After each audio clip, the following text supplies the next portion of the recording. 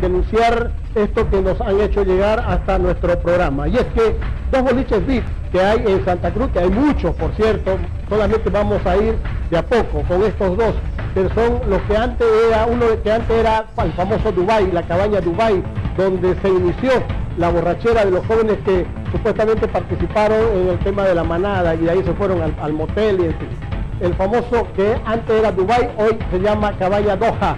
Este boliche colocamos el sello por favor, eh, boliches VIP, atienden, trabajan las 24 horas, pese a la pandemia y las autoridades felices y no dicen nada. Ahí está, estos boliches trabajan, atienden las 24 horas. Doha, hoy el antes Dubai, boliches VIP, ahí está, abre las 24 horas, pese a la pandemia y nadie hace nada. ¿Dónde está la unidad de trata y tráfico de la Fiscalía? ¿Dónde está la policía que no controla esta situación? Tenemos entendido que los propietarios de, de estos boliches, tenemos el Paradise también, ¿no?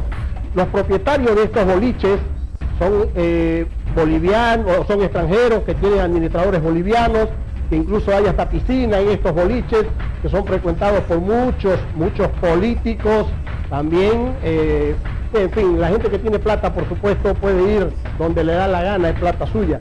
Pero a lo que nosotros criticamos y nos vamos es a la atención que se da en estos boliches. Son casi las 24 horas, abren durante todo el día.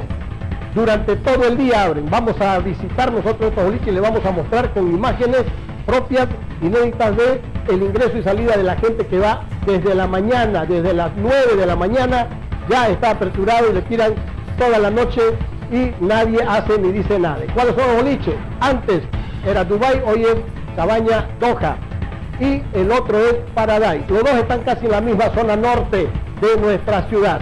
Estos son los boliches que atienden pese a la pandemia y nadie, nadie les dice nada.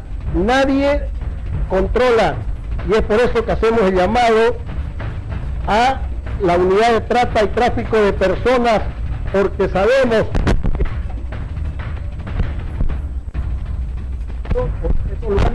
frecuentados por extranjeros en su mayoría. Son extranjeros y por supuesto los propietarios también son extranjeros con sociedad o administradores bolivianos. Ya usted entenderá dónde está la alcaldía, dónde está el municipio también para ver esta situación.